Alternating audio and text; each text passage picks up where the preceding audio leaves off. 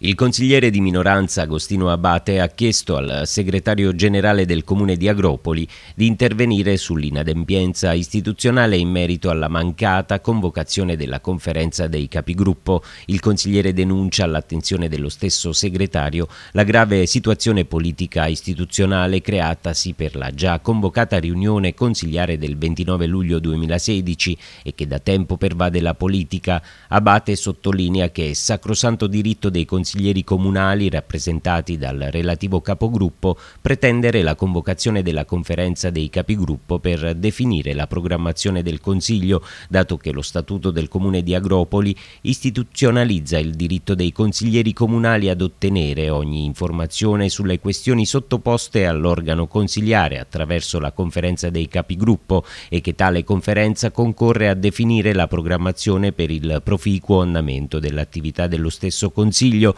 L'organo consultivo che consegue il diritto dei consiglieri deve essere obbligatoriamente convocato e consultato prima di definire ogni programmazione del Consiglio Comunale.